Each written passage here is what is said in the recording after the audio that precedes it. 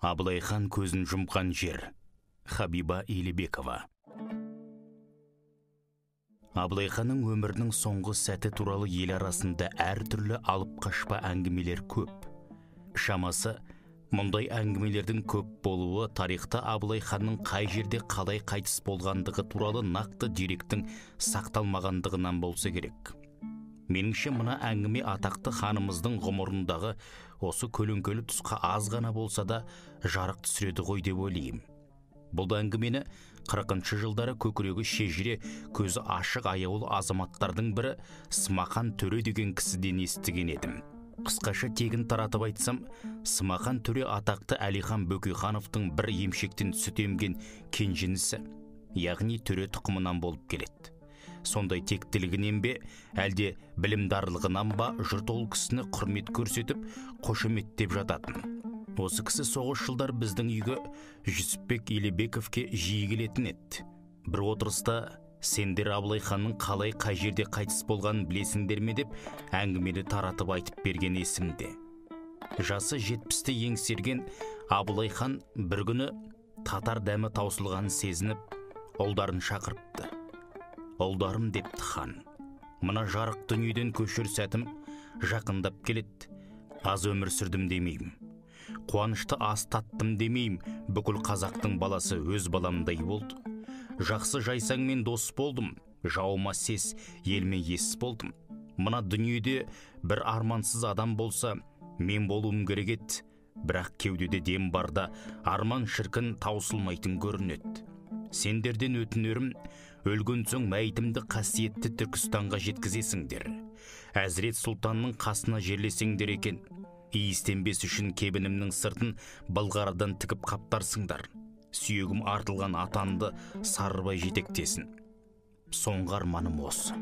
Осы өтінішімді орындасаңдар екен. Ұлдары мұның ізіне әлі ақ түзеліп кетесіз деп қауқылдасып қалады. Бірақ текті әкенің әңгімесі тегін емес екендігін іштері сезген болса керек. Әке аманатын орындайтындықтарын айтып уәде беріседі. Расында да екі үш күннен кейін абылай ханның көзі жұмылып ендігі жерде сүйекті түркістанға әзірет сұлтанның қасына қалай жеткізу туралы әңгіме айтыла бастайды. Шамасы сарыбай абылайдың жасынан бірге өскен өмірдің ыстық суығын бірге көрген жан жолдасы болса керек. Елдің жақсылары бас қосқан алқа қотан жиылыста. Мен ханның сүйегі артылған атанды атқа отырып жетектеймін. Ат бірде желіп бірде жортақтап кетуі мүмкін. Ал мүрдені қатты шайқалақтатуға болмайды. Сондықтан жаяу жетектеп барам дейді. Содан абзал дос айтқан уәдесінде тұрып ханның сүйегі артылған түйені түркістанға жаяу жетектеп барыпты. Сарыбайдың осы азаматтығына риза болған ханның ұлдары аға әкеміздің алдында сізде еңбек сіңірген жан жоқ. Тірісінде өзі риза болса өлгесін аруағы риза шығар. Сіз бізден не қалайсыз? Ақтылы қой не бір үйір араб жылқыға жетпе. Жоқ әлде асыл бұйымдар керек пе? Қалауыңызды орындаймыз. Жасырмай айтыңыз дейді. Сонда сарыбай. Маған қойда жылқыда асыл бұйым да қажет емес. Ханның отырған ескі жұртын беріңіздер. Сол жетеді деген көрінеді. Содан сарыбайдың тілегін қабыл алған ханның ұлдары қонысын тастап көшкен екен деседі. Сол жай бүгінгі жақаштың қорасы деп аталатын жер. Абылай ханның жарық дүниемен қоштасатын жері сол ара. Смақан төреден естіген әңгімемнің ұзын ырғасы міне осындай. Енді осы әңгімеге өз тарапымнан біраз нақтылаулар енгізе кетейін. Жаңағы жақаштың қорасы деп отырған жер қарағандыдағы ақтоғай деген ауданда боқты тауының етегінде. Ал жақаш деп отырған кісіміз белгілі кино қайраткері ораз рымжановтың үлкен атасы. Бұл жағын жақсы білетін себебім менің әкемнің үлкен нағашысы құлбай деген кісі осы. Жақаштың не әке не атасы болып келеді.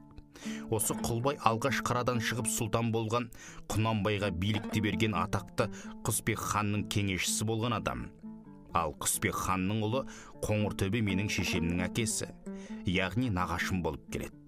Жиырмасыншы жылдардың аяғында әкем қуғын көріп жүргенде біраз уақыт осы нағашымның ауылында баспаналағаным бар. Сонда нағашым мына таудың арғы бетінде жетпіс сегіз шақырымдай жерде жақаштың қорасы бар деп отыратын еді. Меніңше осы жақаш жаңағы сарыбай деген кісінің ұрпағы. Себебі қара шаңырақ баладан балаға мұра болып қала береді ғой. Жоғарыдағы құлбай деген кісі де сол сарыбайдың кіндігінен төре тұқымының кеңесшісі болып жүруі сол ел арасындағы беделінің мықты болуына байланысты. Құсбек ханның өзі ол кісінің пікіріне тоқтайды екен. Тіпті ел арасында бір кез құлбай айтса болды біз көнеміз деген сөз кең таралып кеткен. Шамасы анау мынау ұсақ жайттарды құсбек хан өзі араласпай осы кісіге шештіре беретін болса керек. Мұның бәрін таратып айтып отырған себебім абылай ханның көз жұмған жері қарағандыдағы боқты тауының етегіндегі жақаштың қорасы деп аталатын мекен екендігіне жұрт назарын аударту. Рас ел арасында абылай хан ташкентке барып қайтып келе жатқан сапарында созақ өңірінде аңдып жүрген қалмақ тобының қолына түсіп тұтқында үш құсадан өлген деген әңгіме бар. Абылай ханның өмірбаянын біршама зерттеген театр сыншысы режиссер маман байсеркенов те нақты тарихи дерек ретінде осы әңгімені айтады. Ол кісінің айтуынша бұл әңгіменің растығын орыс архивтеріндегі деректер де айғақтайтын көрінеді. Архив архив қой. Дегенмен бұл әңгіме көкейге қонбайтын секілді. Себебі қазақтың абылайдай ханын қалмаққа тұтқынға беріп қою мүмкін емес. Және ұзақ сапарға шыққан ханның төңірегінде оны қорғап жүрер жасауылдарының болатындығы да анық. Яғни абылай хан тұтқында өлді деген сөз бос әңгіме ғой деймін. Меніңше смақан әңгімесінің өзегінде шындық бар секілді. Смақанның өзінің де төренің тұқымы екендігін ескерсек және оның бұл әңгімені хандар шежіресін жақсы білетін адамдардан естігенін есепке алсақ бұл әңгіменің қисынында жаңсақтық жоқ секілді сезіледі.